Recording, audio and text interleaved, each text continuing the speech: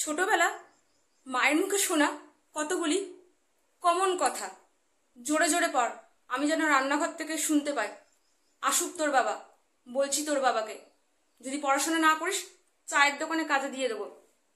দেখছিস তো, তোদের বাবা তোদের জন্য কত কষ্ট করে? আইসক্রিম কিন্তু ড্রেনের পচা জল দিয়ে তৈরি। দোকানে এলে শুধু খাই খায় তোর মতো স্কুলের জামা কাপড় মনে হয় না আর কেউ এত নোংরা করে। তোরা দুই ভাই বোন যে মারপিট করিস, তোদের মধ্যে এত মারপিট মনে হয় পাড়ায় আর কোনো ভাই বোন করে না। তোদের মতো সন্তান ভগবান যেন আর কাউকে না দেয়। দিদির বিয়ে হলে তো পরের বাড়ি চলে যাবে। এইসব কার জন্য করি? বই খাতা কিন্তু সব জলে ফেলে দেবো। আর যা রান্না হবে, চুপচাপ মুখ বুঝে কিন্তু সব খেয়ে নিবি। দুদিন যেতে না যেতে জুতো ছিঁড়ে যায় কীভাবে? হ্যাঁ? স্কুলের নাম শুনলে পেটে ব্যথা?